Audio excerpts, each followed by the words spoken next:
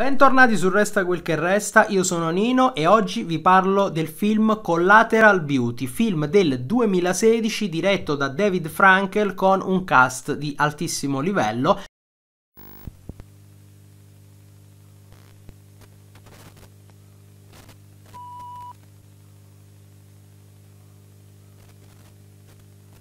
Protagonista Will Smith, che purtroppo in questi ultimi giorni è al centro dell'attenzione non tanto per le sue capacità da attore, che secondo me sono anche molto valide, ma per quello che è successo agli Oscar. Comunque non devo parlare di questo in questo video. Cast di alto livello, Will Smith, Edward Norton, Kate Winslet, Kira Knightley, uh, Ellen Mirren, insomma tanti grandi nomi per questo film, ripeto, del 2016, quindi film di un po' di anni fa. Perché vi parlo oggi di questo film?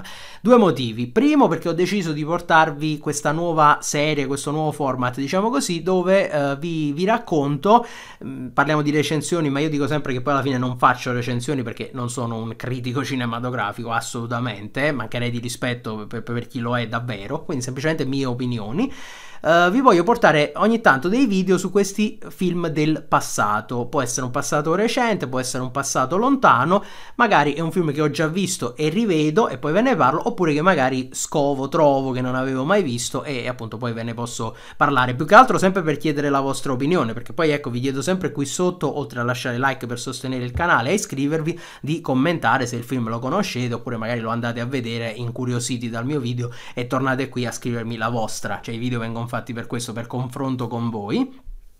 Quindi questa serie qui, questo può essere anche quasi considerato un episodio 2, visto che poco tempo fa vi ho parlato di Festival di Pupi Avati, film di circa 25 anni fa, eh, e quindi diciamo è, è, già un altro film questo del, del, passato di cui vi parlo, anche se questo più recente. Questo è il primo motivo, ma il secondo è che questo è un video su richiesta, su commissione, eh sì, perché? Perché nel mio primo canale YouTube, il canale dove parlo di calcio, ho attivato gli abbonamenti al canale canale per chi vuole sostenermi eh, in quanto creator e uno dei vantaggi che ho messo in uno dei livelli di abbonamento è appunto questo. Mm, chiedimi un film e io ti realizzo un video dopo averlo visto. Ovviamente così ti dico cosa ne penso e ci confrontiamo. E c'è un mio abbonato Tono Salvatore che saluto che mi ha chiesto appunto un video su Collateral Beauty. E io ho detto va bene lo vedo appena riesco e ti faccio il video. Vi dico che se questa cosa vi piace vi interessa probabilmente probabilmente attiverò anche su questo canale qui gli abbonamenti, quindi chi non mi segue dall'altro lato, ma solo qui, perché gli interessa ovviamente cinema, teatro, quello di cui parlo qui, magari potrà, se vuole, sostenermi e anche eh, usufruire di questa possibilità. Allora, ho visto ieri proprio ieri rispetto a quando sto registrando questo film per la prima volta perché non lo conoscevo, perché non lo avevo già visto e, e ve ne parlo, quindi parlo non solo per tono, per Salvatore che me l'ha chiesto, ma per tutti. Allora, uh, film interessante, c'è questo mm, direttore alle quote di maggioranza di uno Uh, come dire, un, uno studio pubblicitario, insomma, che si occupa di, uh, di, di, di pubblicità, che um, è interpretato appunto da Will Smith, che è in uno stato depressivo, in uno stato depressivo perché ha perso sua figlia, sua figlia piccola, uh, questo tre anni prima rispetto a quando si svolgono i fatti, e insomma ci viene mostrato un uomo in forte stato depressivo, quasi ridotto a, a un vegetale, non tanto nel fisico quanto nella, nella testa, perché ormai ormai è praticamente eh, un, un, essere che, che vaga, che, che, non interagisce con gli altri, che difficilmente insomma parla e, e, si sta abbandonando sempre di più dopo questa tragedia che ha vissuto, no? una delle tragedie più grandi credo che si possano vivere come la perdita di, di un figlio. Uh, l'agenzia che lui dirige sta praticamente cadendo a picco, sta uh, perdendo contratti perché uh, molti, molti partner, insomma molti molti, si, molti clienti, anzi, che si affidavano a loro, lo facevano anche eh, per lui, perché evidentemente parliamo di un personaggio dal grande carisma e molto abile nel suo lavoro. Questo suo distaccarsi dall'agenzia sta facendo cadere sempre più giù questa agenzia e sono molto preoccupati tre suoi collaboratori che poi sono anche però suoi amici, quindi sono preoccupati per lui, per il suo stato, ma anche per loro stessi, per l'agenzia e per il loro futuro. E quindi che cosa succede? Decidono di intervenire. Ovviamente ovviamente hanno provato anche a convincerlo, l'obiettivo loro è vendere, vendere questa agenzia, non possono farlo perché lui comunque ha le quote di maggioranza e lui nonostante tutto quello che, che sta vivendo comunque non vuole eh, vendere e allora devono trovare insomma un, un modo per, per quantomeno convincerlo. In realtà non si trova questo modo e a uno di questi tre viene in mente uh, una idea che probabilmente dal punto di vista morale non è delle migliori, considerando che sono anche amici, però sembra l'unica strada, ovvero ingaggiare un, un investigatore che possa eh, in qualche modo raccogliere delle prove che vanno a evidenziare il suo stato mentale instabile in modo da poter magari vendere l'agenzia anche senza il suo consenso. In realtà non si trova nulla di che, sì, è un uomo depresso, ma insomma che non ha uno, uno stato mentale precario, eh, diciamo così, ai fini di, di, di, di poter diciamo impedirgli di avere voce in capitolo sulla vendita, ecco diciamo diciamo così. Uh, quello, l'unica cosa che viene trovata dalla, dalla investigatrice uh, sono delle lettere che lui ha scritto uh, non a delle persone, ma a delle, diciamo, entità, a dei concetti astratti. Ecco, amore, tempo e morte, perché questi, queste tre entità, questi tre concetti astratti sono quelli che poi alla fine muovono noi, la nostra vita, il mondo intero, l'amore, il tempo e la morte. Viene un'idea un'idea, sempre a, a, questi insomma tre amici, di ingaggiare tre attori. Ingaggiare tre attori e chiedere loro di impersonare queste tre entità astratte, quindi dare una voce, un volto, delle sembianze umane a queste tre entità astratte con l'idea di farle interagire con lui e quindi vedere se da questo confronto, perché lui è comunque eh, arrabbiato con, con, con, con la morte, con il tempo, con l'amore, per tutto quello che gli è successo nella vita, vedere se questo può creare alla fine un cambiamento. Alla fine poi questo cambiamento non c'è, ma comunque l'interagire con queste tre persone, questi tre attori, porterà loro a ottenere il risultato sa, ehm, grazie diciamo a, a, al fatto che lui eh, parla con... Eh, con persone che non esistono perché vengono manipolati dei, dei, filmati. Vabbè, comunque non voglio raccontare troppo perché magari qualcuno adesso lo andrà a vedere questo film e soprattutto non voglio fare spoiler per il finale. Spero di non farli tra poco quando ve ne parlo.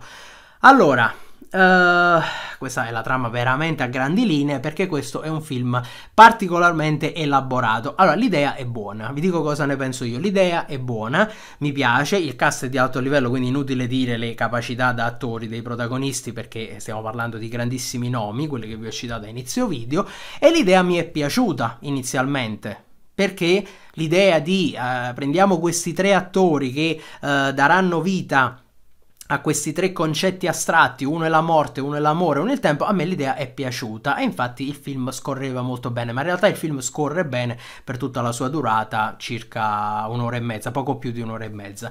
Il problema però che non mi fa diciamo promuovere al 100% questo film è che uh, è tutto approssimativo, cioè è tutto lasciato lì. Ogni sviluppo possibile di trama, ogni storia, uh, ogni sottotrama, perché poi questi tre colleghi di, di, di, di, Will Smith, ecco diciamo così, del protagonista, hanno tutti e tre dei problemi personali e infatti loro stessi andranno a interagire con questi uh, attori uh, e in qualche modo si sfogheranno o miglioreranno comunque la loro esistenza. Quindi non è soltanto uh, Will Smith protagonista il suo problema è risolvere questo problema, no, ci sono tantissime sottotrame. Il problema è che non ne viene sviluppata praticamente nessuna. Cioè, io all'inizio all'inizio, no? quando c'è stata questa cosa, ingaggiamo i tre attori, la prima cosa che ho pensato è, ah bello, sarà molto interessante vedere gli scambi di battute tra Will Smith e questi tre.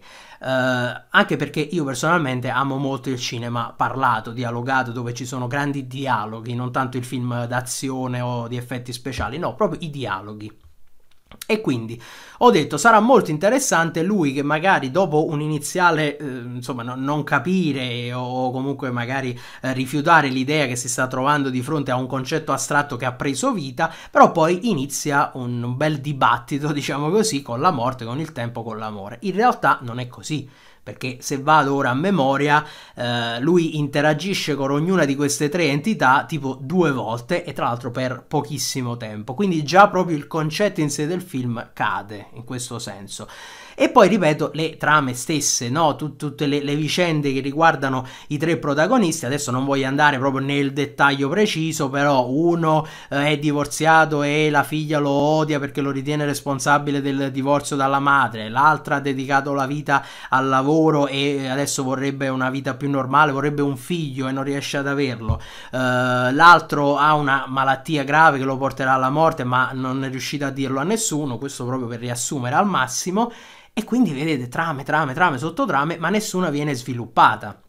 Tant'è che um, ieri pensavo mentre lo vedevo, questo film dura poco, perché infatti dura un'ora e 35 tipo più o meno, uh, e a un certo punto del film mi capita ogni tanto, mentre lo sto vedendo, magari l'ho visto sul, sul mio PC, sul Chromebook, uh, ho fermato un attimo per vedere a, a, quanto stavamo di tempo ed era già passata un'ora, mancava solo mezz'ora, ho detto sì ma qui ancora non cioè, fondamentalmente non c'è stato nessuno sviluppo. Quindi, alla fine, che succede? O che all'improvviso buttano dentro negli ultimi 10 minuti, un quarto d'ora tutto, cosa che talvolta nel cinema succede e non mi piace, oppure alla fine sto film rimane tante intenzioni, ma poca, poca roba pratica.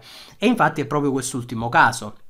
Quindi Secondo me doveva durare un pochino di più, invece di un'ora e mezza doveva durare due ore, due ore e dieci e utilizzare questi 30-40 minuti in più per sviluppare un po' meglio queste storie. Magari affidarsi ai eh, sempre utili flashback, diciamo così, perché poi anche dello stesso protagonista di Will Smith in realtà non ci viene mostrato niente del passato, a parte il pezzettino iniziale che lui sta parlando a tutti quelli che lavorano per lui e si capisce che lui è un uomo brillante e tutto, però poi nient'altro tutt'altro. Ora, non è che questo sia proprio necessario ai fini della, del, della trama, insomma, del film, però il confronto tra il prima e il dopo di questo avvenimento, ripeto, devastante come la morte di un, di un figlio, poteva essere, secondo me, molto interessante e ci poteva far capire molto di più.